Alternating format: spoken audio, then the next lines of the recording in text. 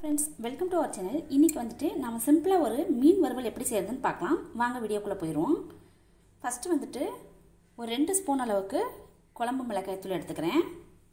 இது வந்து எல்லாமே நம்ம தனியா ஜீரகம் எல்லாம் போட்டு அரைச்சது. கூட்டுத்தூள் சொல்லுவோம்ல அந்த தூள் இது.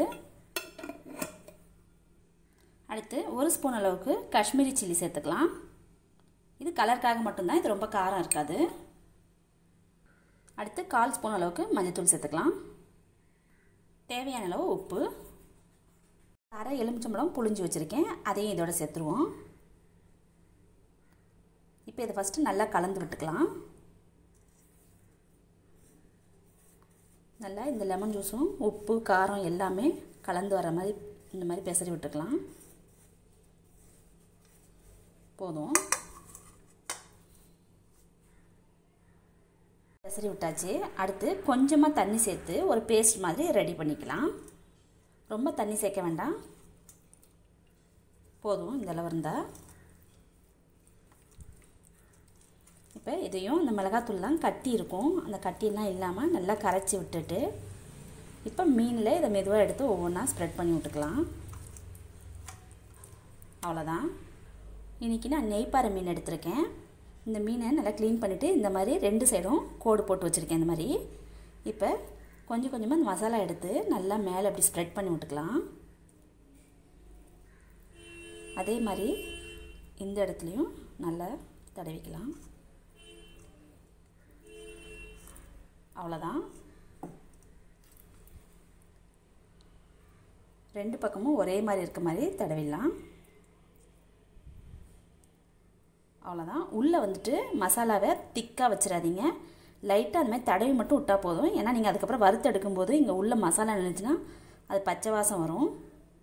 அவ்வளோதான் இந்த மாதிரி நல்லா எல்லா பக்கமும் மசால் படுற மாதிரி தடவியாச்சு.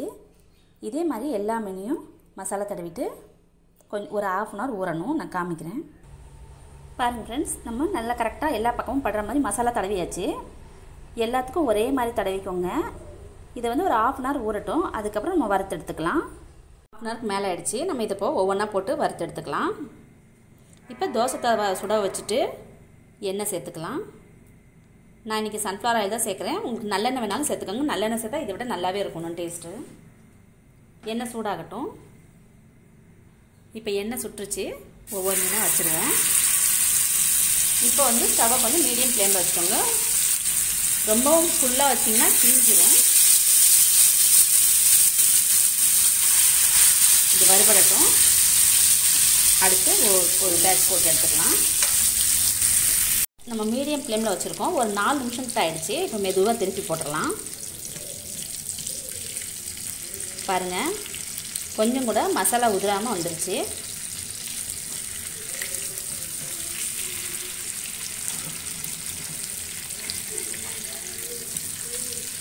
அவ்வளோதான் இப்போ இந்த சைடும் வேகட்டும். இந்த சைடும் ஒரு நாலு நிமிஷம் வெந்ததுக்கப்புறம் எடுத்துடலாம்.